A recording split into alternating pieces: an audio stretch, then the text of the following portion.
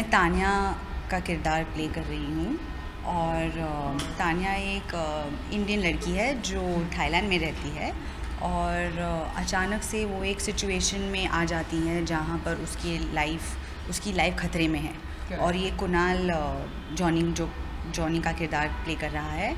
वो अचानक से उसके सामने आ जाता है और उस उसके पास कोई चॉइस नहीं है, बल्कि ये जो स्ट्रेंजर है, उन पर ट्रस्ट करके अपनी ज़िंदगी बचाने की कोशिश करे। तो दो कहानियाँ हैं जो पैरेलल चल रही हैं। एक में वो तानिया को मार देता है शुरुआत में, और एक में वो तानिया को नहीं मारता, क्योंकि वो